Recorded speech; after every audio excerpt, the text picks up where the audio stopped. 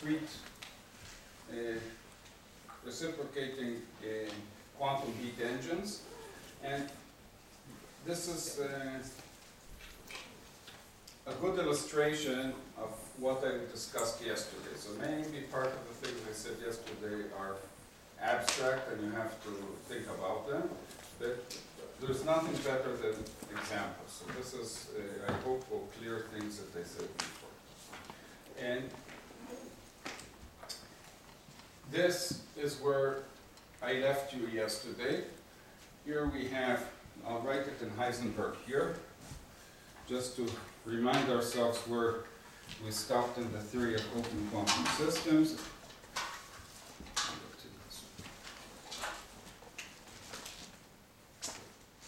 So if we have an operator x, so the change in time is the operator x is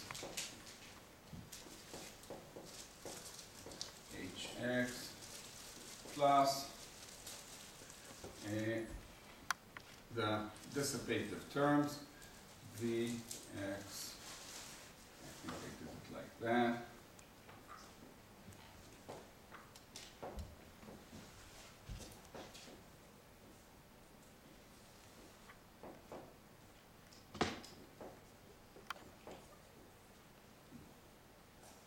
x plus x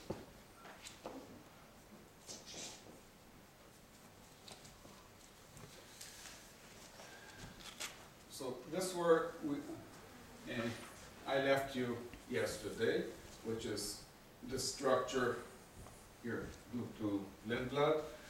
And we say this is generating the unitary part of the dynamics, and this is generating the dissipative part of the dynamics. Okay, so now we want this to bring us to thermal equilibrium. We showed you two examples harmonic oscillator, the spin system that reached thermal equilibrium. We used uh, this example. And now I want to take something that was shown uh, yesterday in a different context and just do a very simple derivation. Let's say our operator x is the Hamiltonian itself. So this will be the change in energy in time. So I stick it here. Okay, forgot the term which will be, become very important. I stick it here, and if I write it like that, I should put expectation values around. So what happens here? Hamiltonian commutes with itself, so this would be zero, and I just get out of this uh, this part here. So I get, let's call it LD, the dissipated part, just this piece here. So I get LDA that operates on H, expectation value, plus the expectation value dH dt, like that. Now, if I want to, I can write this explicitly, and I can say this is LDH times the density operator of this plus this operator scalar product with the density. This is our system. So our interpretation, this would be the power, and this would be the heat current. So we get, we can say the a dynamical version of the first law, that this is dq plus dw. If I take the time derivative, I get to this equation. So, starting from Lindblad, going to Heisenberg, just saying that my operator that I'm interested in is a Hamiltonian itself, I get the time derivative of the first law of thermodynamics. So we can see that our theory is consistent with the first law of thermodynamics. This looks very nice. This result is due to, I think I have it here. This is a good reference. This uh, Robert Alicki from 1979. Alicki did his master's degree with Kossakowski, and now he's one of the, I would say, the pillars of the, of the field. There's also related work done by Lebowitz and uh, Spohn and Lebowitz, also reached to uh, so kind of the same uh, type of uh, idea. Here's the derivation. And nowadays, this is challenged because it looks very nice, very elegant. So uh, this part is good. This part is challenged. The definition of work is challenged today in, uh, you can say, contemporary or the last three years of uh, quantum thermodynamics, because as we'll see, work is elusive. Heat is always okay. So, and in the cases that I'll show you, let's put it like that. Let's postpone this issue about work to tomorrow, my lectures tomorrow. Won't talk about it today. What I'll talk about today fits exactly this type of scheme. So this is okay for what we'll do today. So now we have our first law of thermodynamics, and we can go to one of the main dilemmas. Yes? Yesterday you said this separation was not unique between the two terms. Yeah.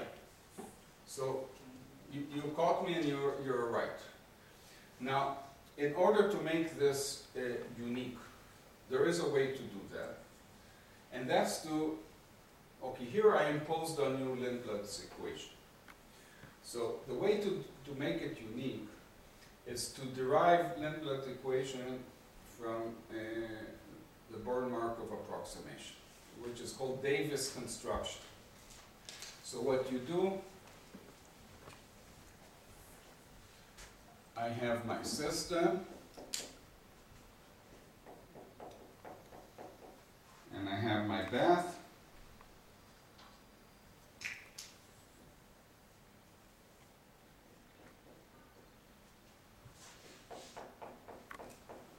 And we assume weak coupling like that. Okay, so this, there's a standard method, which I didn't talk about, but it's in my notes. To do Born-Markov on second order weak coupling limit and derive from that these coefficients. If you do that, which is called Davies construction by E.B. Davies, which did that same period, 1975, 1976. If you do that, you get Lindblad's form that the dissipative part, we can write, we have a unitary part and a dissipative part commute. So we could write this, let's call this the Hamiltonian part, plus a dissipative part that operate like that. And in this case, these are some are operators that operate on operators, we call them super operators, LD and LH commute, which means that as a result, we get detailed balance for our equilibrium state. And this is what Doris was talking about yesterday in the context of stochastic thermodynamics. In this case, it's more general because you're talking about completely quantum description. So you get coherence and non-coherence part. And if you start from here and derive Lindblad's equation, you get this result. And you get that the steady state or the equilibrium state, if we have one Beth, we'll see these distinctions that we talked about yesterday, is the canonical equilibrium state. And in a way, I showed you an example. The example I showed you yesterday of the harmonic oscillator led to canonical uh, equilibrium. And in this case, you could show that this property will happen between these two. So this what makes, uh, in a way, Lindblad for, for this type of construction unique. That you could say Lindblad, there are two directions here. One of Davies, which tries to do an ordered derivation, starting from uh, perturbation theory, and one from Lindblad who says, okay, I want a Markovian. Now they meet. They meet at a certain point, so you can get Lindblad under certain assumptions, and these assumptions boil down that you can say this interface is weak. Because that's weak coupling limit. What you get out of that is what I would call an isothermal partition. It means I get a partition between my system and bath, which allows heat to flow across this interface. But on the other hand, leaves this tensor uh, product structure for all times. So I can define system operators. My system is a well-defined thermodynamical entity because it's approximately tensor product with its environment. But on the other hand, I have energy flow between the system and environment. So it's a very delicate balance because in order to let energy flow, I need to have correlation. But weak coupling limit, uh, limit says that these correlations are weak. So to first order, you throw them away. To second order, you get Lindblad's equation out. So good that you asked because this kind of completes conceptually the picture of quantum thermodynamics. Now this will be related to things that maybe know discuss uh. Okay, so now we go to this point here. Uh, here we have two cars. Which one would you like? I sell them now. I'm a car dealer. Have a Lamborghini or the one with daisies. Here you're in the Energy Institute. Which, let's make a vote. Which car would you buy? That's what, Yeah, and you want the blue one. Who wants the green? Okay. So- So this is a dilemma that always exists in, in quantum thermodynamics, and I just put it because we'll see this coming back again. It's power or efficiency. You can't have both at the same time. So if we talk about efficiency, the best we can do is reversible. So it's Carnot. Okay, sometimes you can go beyond Carnot and make it revert, but still it's, the entropy is zero. So the papers that say they can go beyond Carnot still keep uh, delta S, a change in entropy, and the total change is zero. So we don't gain uh, uh, beyond this point. So this is the most efficient, you can say heat engine or refrigerator possible, is in this case. Now, if we want power, we pay with efficiency. In a way, you showed that in your talk uh, yesterday. So, this has more power, less efficiency, and the question is, do you care about the environment, yes or no? This is a personal question. But you see, it's a green car, so it's okay. so, this is a well-known result, which is called, it's commonly called the Curzon-Ahlborn efficiency. The first reference to this efficiency is by Novikov, and who studied nuclear power plants. So, which goes 10 years before uh, Curzon and Ahlborn, but anyway, I, I would say this is a very nice paper to read in the American Journal of Physics that describes how to derive this efficiency. So instead of So this is the efficiency at maximum power, and this is always smaller than this. And in this case, our uh, engine is irreversible. We have entropy production, so we generate more entropy in order to increase our power. And we'll see that this result, it's not a bound. You can go above it or below it in certain cases. On the other hand, it's a very good estimate for many engines. Included the discrete engines that I'll describe here, the Otto engines that I'll describe, we get, uh, we get this result for the maximum, you can say the efficiency at maximum power. This is where you're, so, this is, uh, you can say the price you pay to have uh, power. So, in general, this is a very uh, dilemma. There's recent some papers that try to claim that you can reach a maximum power in reversible conditions. These papers are wrong, in my opinion. There is a lot of discussion in the literature. Some people suggested, and other people have proven recently that this can't be. That if you are reversible, your power is zero. So let's put it like that, no engine. These daisies look nice, this blue car over there, but still, it's not the Carnot efficiency. Okay, so this is the engine I'm going to talk about.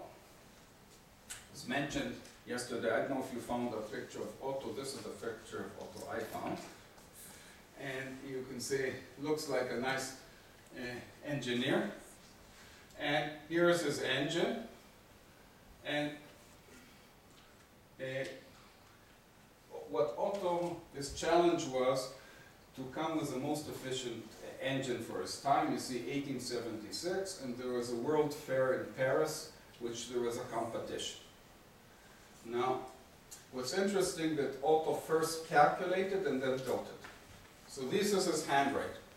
This is his, the cycle of Otto engine, and here, in this handwriting, he already he wrote it 18 years the cycle, and he had calculated the efficiency, and the efficiency of Otto engine is still exists today. And here's the first model of, of our car engine, a single cylinder with a nice flywheel. The truth is, if you give me this, I would buy it. So here's our Otto engine, and this is what I'll describe. So here's the Otto cycle. So let's, let's follow it from uh, as an engine. So in general has two isochores, two adiabats, and let's see how it works because it's easy to understand. Here's my cylinder, here's the gas, my cylinder is here, it's compressed. So what do I do? I have here a gas furnace, I heat the gas up. So I go from this temperature, which is something, to red, which is a high temperature. So I keep the volume of my cylinder constant, and I heat the gas. So this is where I put heat into my engine.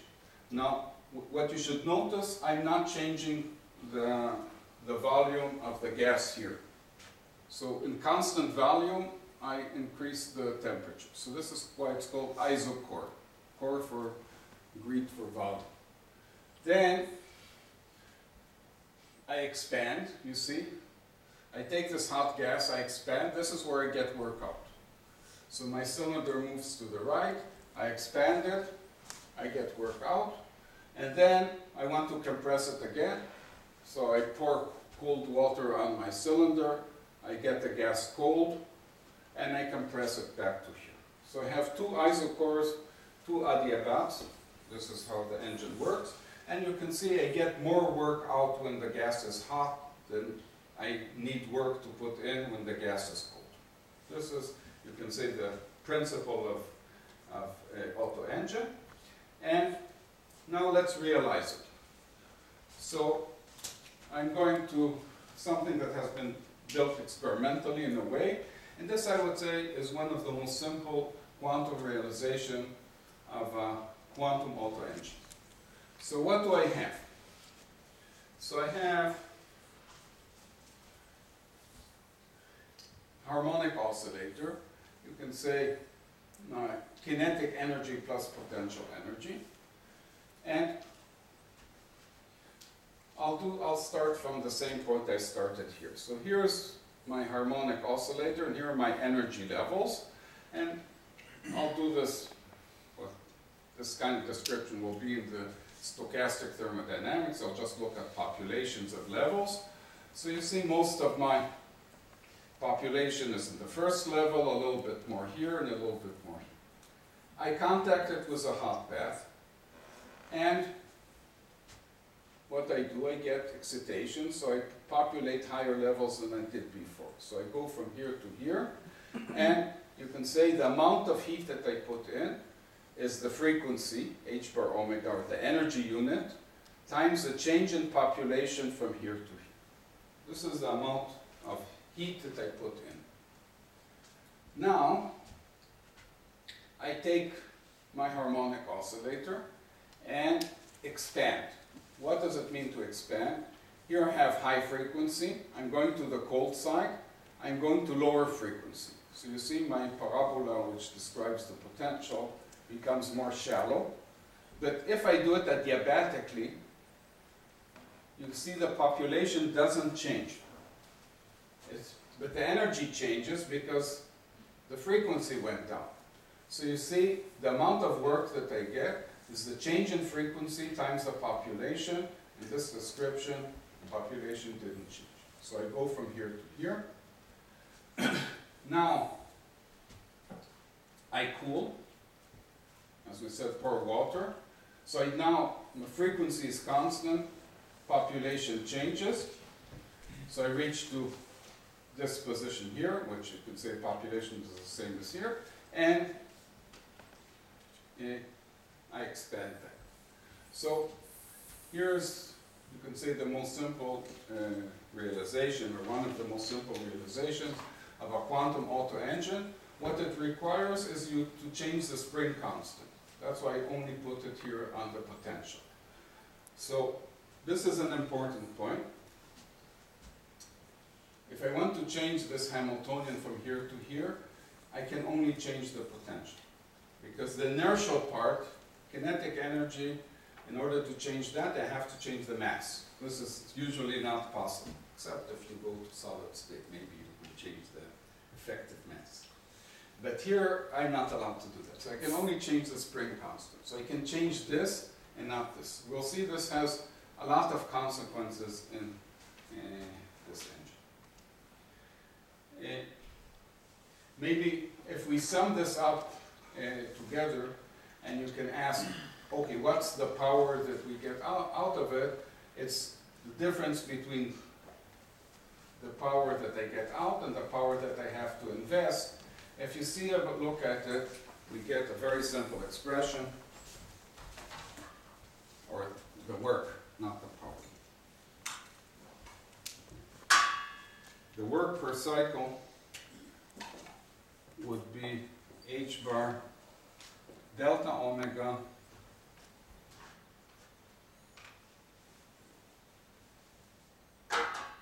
delta n. This is the work we get out of it. And if we want to get the, the heat we invest is QH, as we said, it's h bar omega h times uh, delta n. So we want to get the efficiency, it's W divided by QH. You can do it yourself.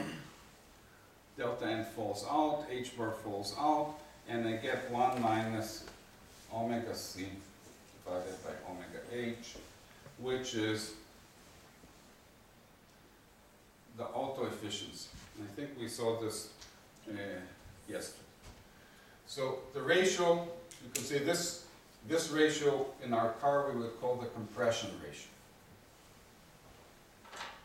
So you can say the efficiency is 1 minus the compression ratio, or the inverse of the compression ratio. So you see already, if I want a good Lamborghini, compression ratio should be as large, which also means I would need good gasoline, all kinds of other good things I have to buy for that. So maybe I won't buy it eventually. Okay, so now, here, I'm giving you a preview of something that I'll, I'll go. Now, until now, it really wasn't quantum, it was stochastic. But now make it quantum. So here's my harmonic oscillator, and I'm looking at it in phase space. So this picture will be, this would, would be the position, this would be momentum. So I'm looking at my uh, working fluid in phase space. So it's a nice Gaussian. So a thermal state is, is just a perfect hat like that, symmetric. So now what I do, I open my, my trap, or, and this is, so I, I go from here to here. So let's say I do this very fast. So I open my trap very fast, so you can see that this, which is in equilibrium at this temperature and this uh, frequency of my harmonic bath, is not in the right equilibrium shape of a more shallow uh, potential. So what I get is what's called a squeeze state. This is called the quantum squeeze state, which is well known in quantum optics. So you see, in phase space, it doesn't look perfect, and we'll see what it means that I'll get less work here. And then I cool it, I get to a perfect thermal state, which is, you can say, again symmetric. And then if I do this fast again, so I start from here and compress too fast, I'll also get a squeeze. So now this goes back to my dilemma. I want to do my operations fast. So I'll have, what we'll see, that I'll have to pay a price. Okay. So now, What do you get the squeeze state, that kind of I start from a harmonic oscillator with a certain frequency. Instantaneously, I open the trap.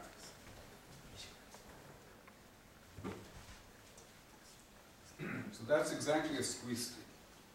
So you expand the uncertainty in the position. Yeah, so you can say mm-hmm. this was my thermal state, could be the ground state, and instantaneously I open it like that. So this is not the ground state of this potential. So it will start to breathe, expand and compress like a squeeze state. So in phase space it will rotate. So in phase space this looks like that, but when I go to the phase space here, it looks too narrow. It looks like that. So what will happen, this will start to rotate in phase space, which is what the squeeze state is.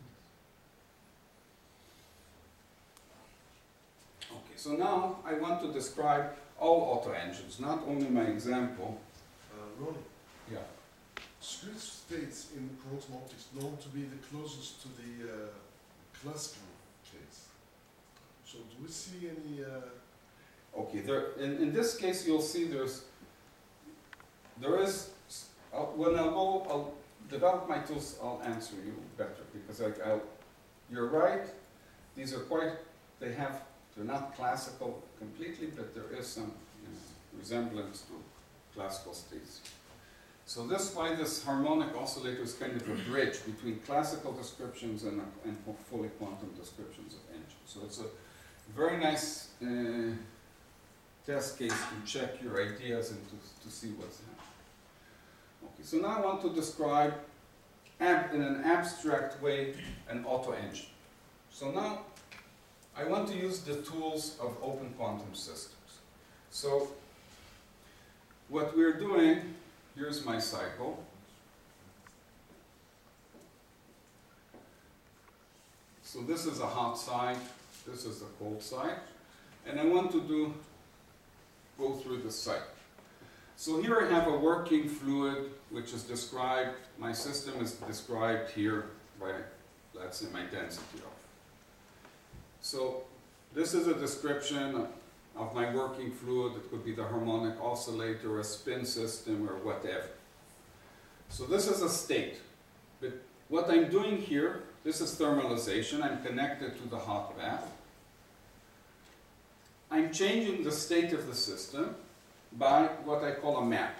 So this would be before, initial, and I'm operating with a map, which we'll call the hot, let's use colors. This is the state of the system. Now let's give numbers. This is A, B, C, D. So the state of my system at point A is here. Now I move it from here to here. So I propagate it with a propagator which I'll call UH. And UH gives me, if you want, this gives me U B, my state at this point. But now I do my adiabatic, uh, in this case expansion, that's where I get work. So I'll continue the cycle. So what do I do next? I have another propagator which is, goes from hot to cold. So I did this motion and now I got C. I reached here. Now I can continue from here and have another propagator which is thermalization to the cold bed. And I reached OD. And now I can close the cycle. I'll get rid of that. And I'll have another adiabatic move from D, from cold to hot. And all these things together, okay, so now what I should get, back to here. What did I do? I say if I got back to where I started, I'm in steady state. This is when I turn my engine, get into your car in the morning, turn it on, it does something like that, but then it's in steady state. This is my definition of steady state. State before or after is the same. So you can say that my steady state, now we'll, we'll do a little bit uh, formal. I'll erase these two. And call this the propagator of my cycle. U of let's say Otto.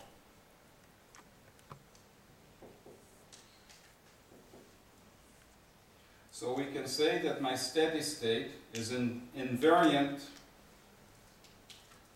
if I start from my, uh, from here, let's say A,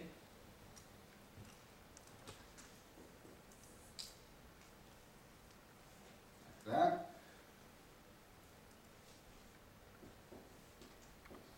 So my, this is my steady state, I'll put here a steady state. It's an invariant of my propagator. My propagator is defined by the four propagators of my engine.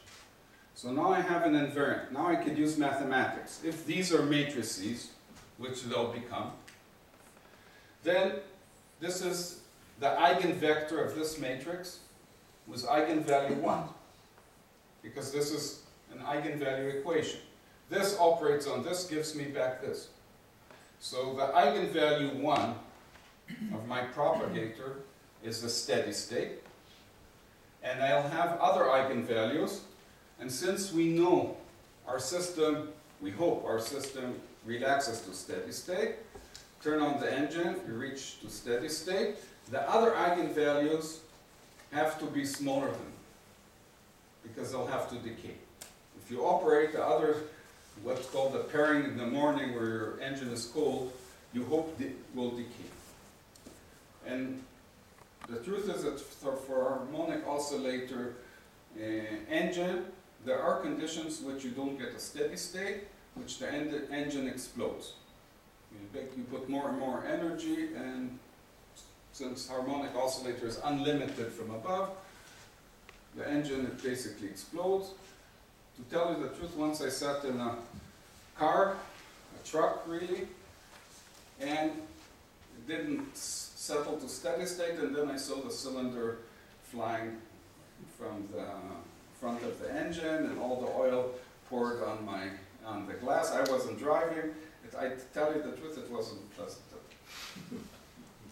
But you can say, you don't have to reach steady state, but we're, we want to reach steady state, this is our engine. It reaches uh, steady state, so this is the mathematical conditions about that. So these are, you can say all Otto engines, or in general, Carnot also would have a similar structure. This is a four-stroke engine, will have a structure like that. Now there's an interesting point here that, just to let you think about, do these operators commute? These propagators? Can I exchange them?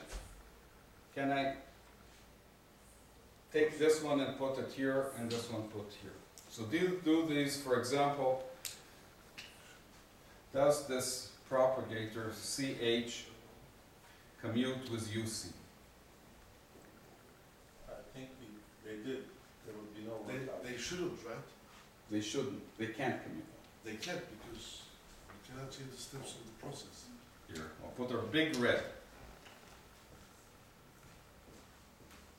They don't commute. So it means, this is an interesting thing because you could say, you have your car engine, you didn't think about that, your operations in your car engine don't commute. And then you could think maybe this is a quantum effect. The answer is no. You could answer that in stochastic thermodynamics if you want. You could uh, try to show that in the way matrices that define these uh, operators don't have to commute, and it doesn't have to be a quantum effect. It can be a quantum effect. But you can say in order to get an engine, thermalization and the adiabatic moves can't commute with each other.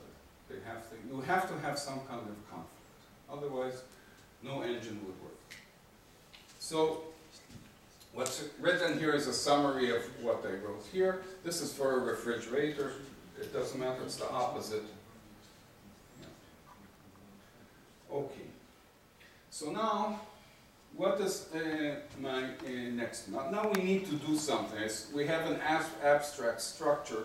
We want a way to solve this. And what's, uh, you could say, nice about harmonic oscillators. Harmonic oscillators, that's why we teach harmonic oscillators. Everything is analytically solvable. So you could take pen, pencil, or just pencils and paper, and you can do everything explicit. So, uh, we want to describe our engine through the cycle, and we want to do that with minimum number of variables that we can do that. So we want the minimum description. I don't want something very complicated, otherwise I'll lose you. I want something the most simple that I can do. Now, in statistical mechanics, we need one variable, energy. If I know the energy, and I tell you it's a harmonic oscillator, I know the expectation value of the energy, I can calculate the state. So, let's do that, just to make this clear.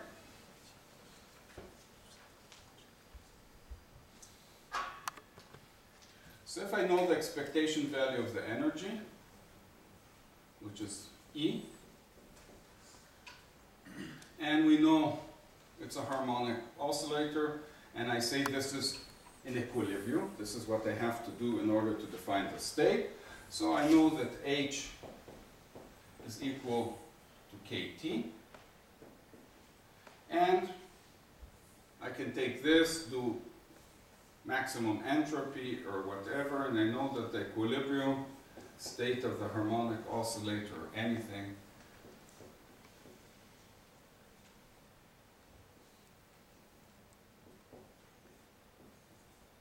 divided by the partition function, which is just normalization.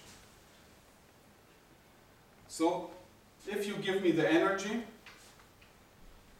you can calculate and see that this, for a harmonic oscillator, this is true. For other things, you have a, maybe a different relation between energy and temperature. The harmonic oscillator, is linear.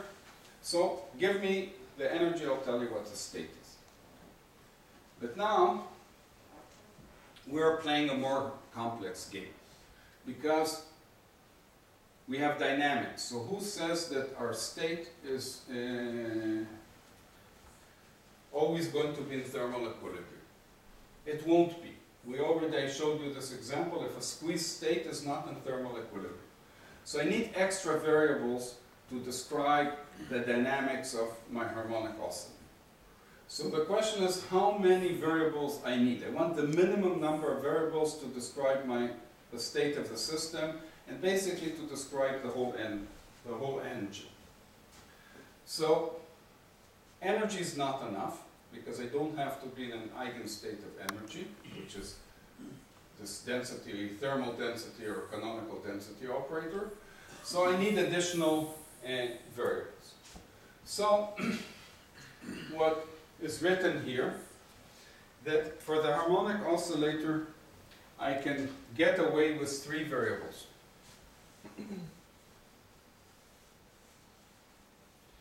Now they're time dependent because we, we see the Hamiltonian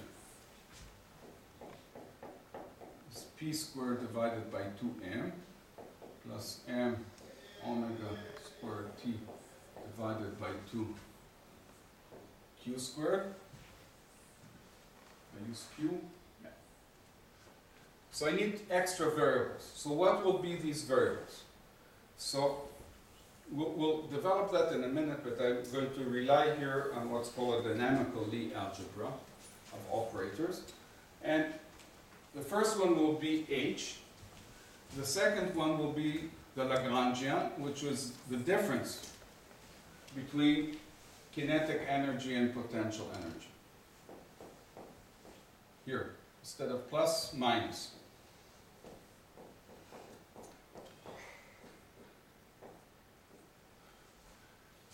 Okay, so if you think about the expectation value of L and thermal equilibrium is zero.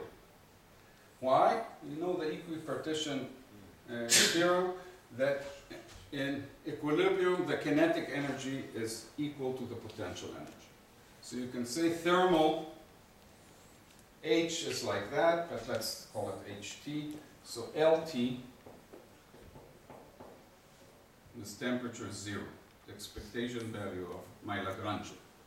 Now I need a third operator here. I used uh, C here for correlation. So it's QP uh, plus PQ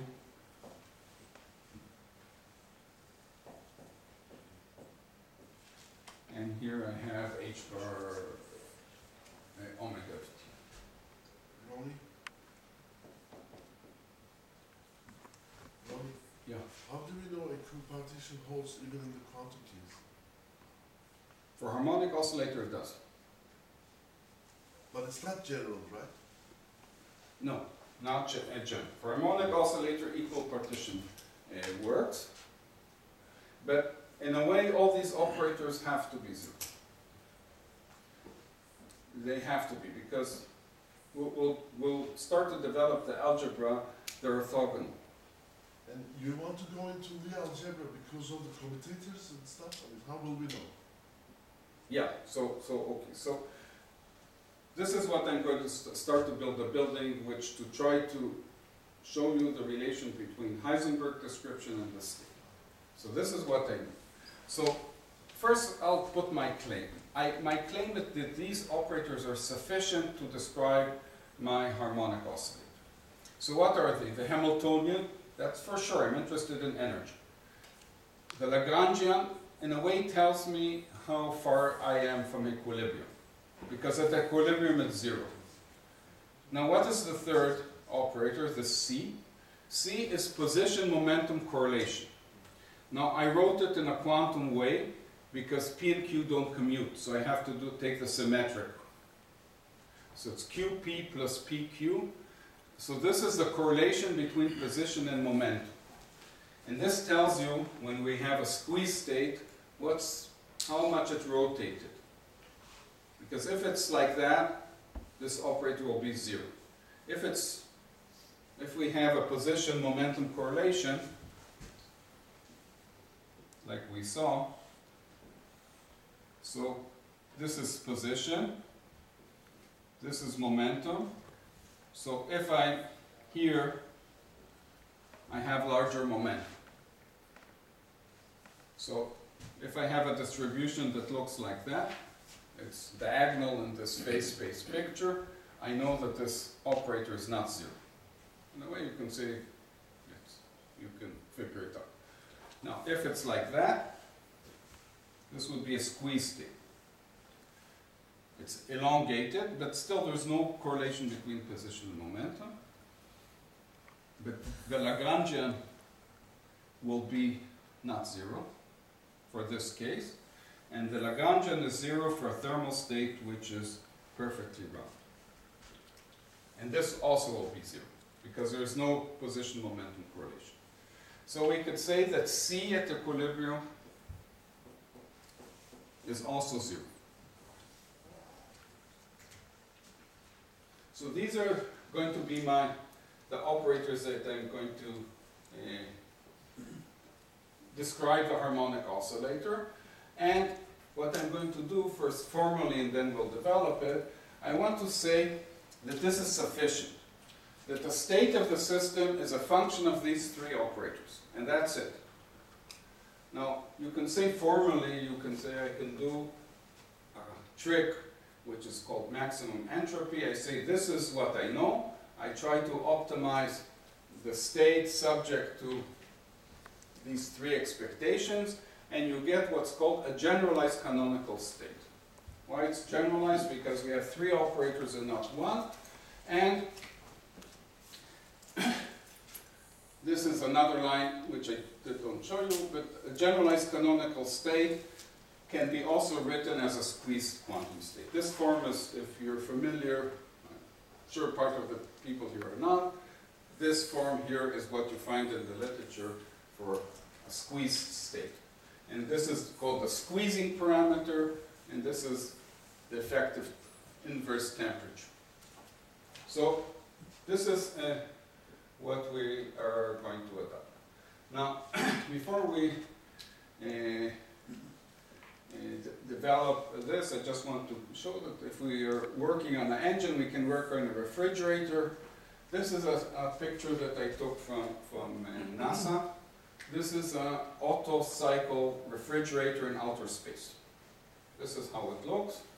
And the reason you have an Otto refrigerator in outer space, you want to cool your detector so you can detect the black body radiation. So you have to be colder than, I don't know, 4 Kelvin or whatever. Yeah, so what they, what they have in this uh, satellite in outer space, they have an Otto uh, engine with, um, using, it's called adiabatic demagnetization refrigerator. It's closer to a spin Otto cycle, which we heard about yesterday, but just to show you that we can do a refrigerator. And uh, if we think about the harmonic oscillator, all what they have to do is work this in reverse. So my cycle goes like that. I take heat out of here, I go here, dissipate heat to- into the hot bath, and close the cycle in the opposite way. So from point of view of my alg- algebra or my dynamics, it's the same story. Okay. So now, the first thing I have to do is my variables, and we already developed Heisenberg equations of motion, is to